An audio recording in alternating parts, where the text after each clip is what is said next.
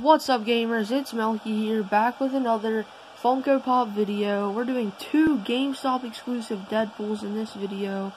Uh, let's get to it. I'm going to unbox them, show you all around the box, and do all that good stuff. By the way, this Lazy River Deadpool here comes out of a Deadpool mystery box. That's really cool.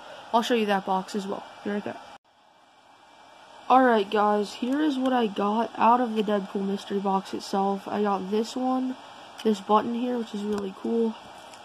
This lanyard, which is also really cool. This Pop Mini, which is a keychain as well, which is also really cool. I know I keep repeating myself, but it all is.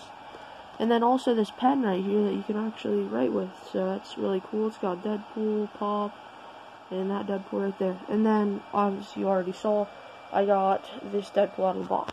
So, that's everything I got out of my Deadpool mystery box. And then this is just a, um, miscellaneous pop that I had bought at the store, at GameStop. Um, so anyway, time to actually unbox the pops themselves. Alright guys, so here is the swimming pool, well actually it's called Lazy River Deadpool. Um, this is a great pop in my opinion. I love the details, like even how he has a bandage on his nose, even though we all know Deadpool can regenerate. Um, that's pretty funny. And then also how his feet are like really like messed up and stuff, just how his actual skin is. So I think that's really cool detail. Um, and then obviously the floaty and how he's wearing shorts over his pants. It's honestly just a great figure, and I'm so happy that I got this one out of the mystery box. Then again, I would have been happy with anything, because all the figures you can get are awesome. Um, now to the back of the box on this one, they actually have two different backs.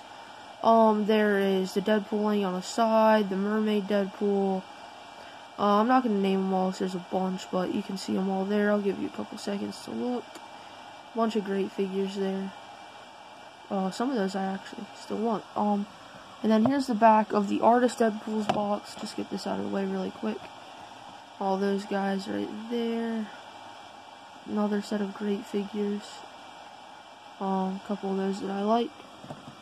Now, here's the artist Deadpool himself. This one did not come in the mystery box. This is a um, just casual GameStop exclusive, like one you could find in your store.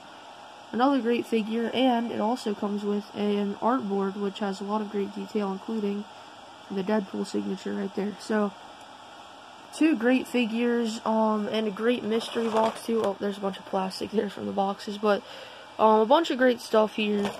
I hope you guys enjoyed this video. If you did, please leave a like, comment, and subscribe.